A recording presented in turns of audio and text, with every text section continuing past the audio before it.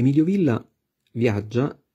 negli Stati Uniti e nel suo primo viaggio in California alla fine eh, degli anni 60 incontra il figlio che lavora in un laboratorio come fisico dove eh, il poeta Emilio Villa eh, grazie appunto al figlio Francesco si incontra per la prima volta, vede per la prima volta i tabulati di un computer, la programmazione, i codici, eh, i materiali che appunto escono dalla, dai, dai, dalle stampanti al tempo, immagino, ad aghi del, del, dei laboratori, appunto, dei PC, dei primi computer, che non erano, anzi, PC perché non erano personal computer, ma che erano computer, appunto, dedicati solo e esclusivamente a, uh, a complessi, complessissimi calcoli e quindi occupavano anche spazi molto consistenti. Ebbene, questa, questa improvvisa, questa improvvisa agnizione che Villa riconosce in, questa, in, questi tabulati assolutamente incomprensibili, di cui non capisce, dice Tagliaferri, un H, ehm, è, è, è, è, il motore di questa eh, impresa che lui ehm, attua con la Nuova Foglia una volta ritornato in Italia, a Macerata nel 1968, eh, e,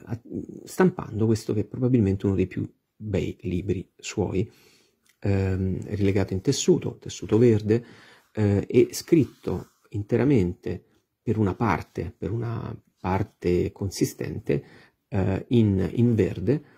un verde che appunto eh, fa da eh, base quasi organica e però nello stesso tempo assolutamente artificiale, con queste, ehm, questi, questi, materiali eh, lineari che sembrano in verità eh, quasi segni astratti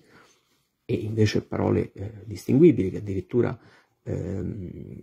Villa non si perita di, corro- di corrompere e correggere, ecco, eh, con questa base verde che fa da elemento di sfondo o a volte di, di aggressione del testo al testo.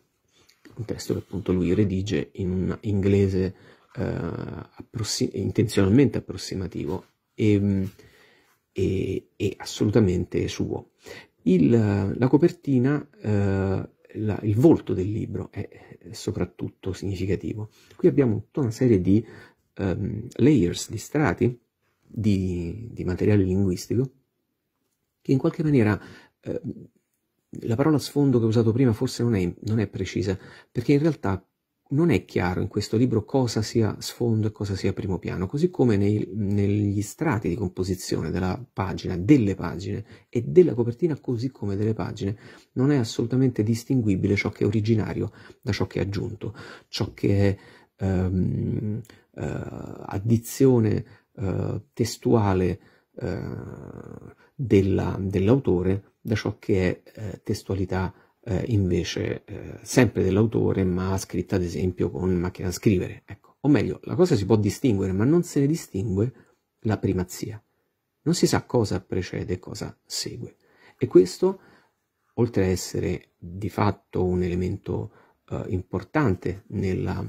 nella costituire appunto l'identità del libro, ci fa riflettere anche su quanto questo volto, questo libro eh, così eh, chiaramente caotico e, e, e metamorfico, perché ogni, ogni, ogni, suo elemento sembra trascolorare in, in, in altro, ecco come questa copertina, questo volto di questo libro, sia in realtà l'anticipazione di ciò che troviamo all'interno del libro. È un volto che è già la sostanza del libro, che è già all'interno del libro. È un libro per certi aspetti rovesciato, che addirittura si semplifica al suo interno e che in verità è eh, dalla copertina dichiarato ehm, una, come una sorta di manifesto di poetica che Villa ehm, espone e oppone a chiunque voglia credere che ehm,